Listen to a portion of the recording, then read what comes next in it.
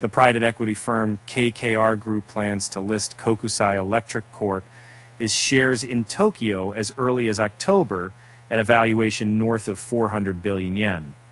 A person familiar with the matter said, uh, KKR will float a portion of the shares it owns in the former Hitachi Limited operations on the Tokyo Stock Exchange. Uh, the person said, uh, asking not to be named as the talks are not public. Um, well, it's not yet clear how much equity will be sold to investors. Um, the initial public offering would raise roughly 540 million. A few people, the uh, the companies hold at 28%.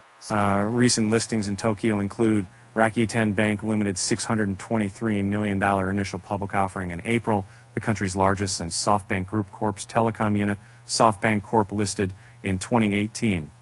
Uh, a representative from KKR declined to comment on Wednesday. Uh, representative from Kokusai uh, Electric uh, could not immediately be reached for comment.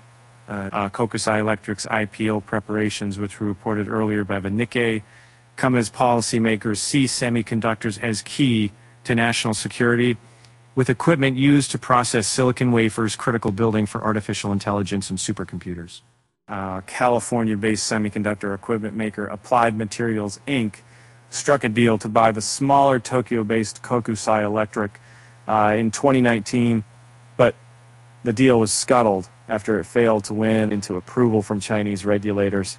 Both companies supply the world's biggest chip makers, such as Samsung Electronics Co., Taiwan Semiconductor Manufacturing Co., and Intel Corp. Uh, mounting costs to pack more transistors onto slivers of silicon have been a spur in chip gear and materials makers to pool their resources. But merger talks have often been frustrated, increased by antitrust regulators and concerns about a single company holding sway over technologies with possible military applications. The uh, Qatar Investment Authority acquired a minority stake in the company, which was spun out of Hitachi Kokusai Electric uh, after KKR bought the mobile phone and wireless equipment manufacturer in a, in a tender offer in 2017.